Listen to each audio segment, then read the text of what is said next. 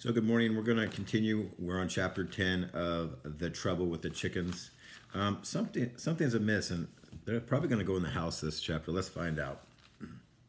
Oh, how Barb loves losers, I thought. Watching JJ, the hero dog, march around the yard with Chicken Mom on his tail and his face to the ground. Only an arrogant search and rescue dog could undergo years of training but not recognize a simple trap when it's right under your nose. Makes me laugh out loud, but Hero Dog isn't like Barb's usual rejects. The orphan baby birds, the mangy stray cats. I have to figure out his weak spot when I have him up close and personal.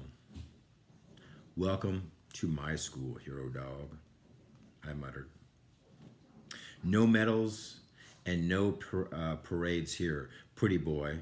Just my house, my yard, my rules. Soon you'll meet one brilliant alpha dog who doesn't like company.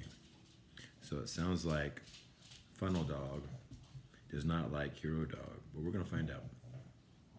I chuckled to myself and then leaped off the table in front of the window. On the way down, the funnel caught the edge of the lamp and it crashed to the floor. The lamp shattered, a bulb burst. Two tiny chicks squeaked. I couldn't have planned it better myself. Chapter 11 why me? And obviously, this is um, coming from the outside. Vince's shadow had dip- disappeared, and the commotion made it clear that it no longer behooved us to rendezvous. I didn't have to turn around to tell what was going on behind me. Sugar was coming up at me as fast as those little freaky little chickadee legs would take her. She hadn't just inherited her mother's eyes, she had inherited her mother's crazy. You're going in, right? asked Sugar.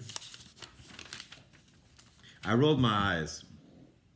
I'm not going anywhere until I have more information. You have all the information you need, Poppy and Sweetie, are in the house. You said it yourself. No. I said, the trail leads to the house. Are you listening to me? Do you even have ears? For the first time that day, I bothered to check to make sure chickens had ears. They do. Sugar looked over at the house.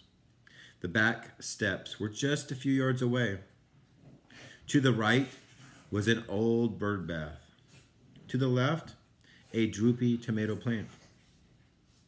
Barb must have saved all the pretty for the front of the house. I'm going in, Sugar chirped. She was off in a flash, with her eyes locked on the doggy door. In that second, I was sure of only one thing. If she went in, she wasn't coming out. I grabbed her by the scruff of the neck and locked and looked for some place safe to stash her for a few minutes. I tossed her up into the bird bath. Sit down, be quiet. She kicked a pebble at me. Just in case you didn't know what a bird, bird bath looked like. And she's kicking that pebble, hitting him right on the nose. I thought about the small town in the Midwest that had held a parade in my honor after I pulled three tornado victims out from underneath a mountain of debris. If you had told me then that, I'd someday be dodging pebbles tossed by a baby chicken, I would have bitten you hard. like I said, I didn't belong here. I was out of place in the country as the guy I once pulled out of a snowy cave in his pajamas. Life is strange, mister.